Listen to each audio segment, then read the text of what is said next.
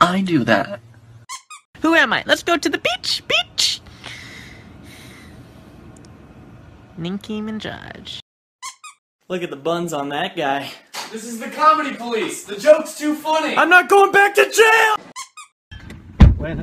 Are they helium balloons? I told you the car's not able to helium balloons. It's too late. Oh, we're flying away.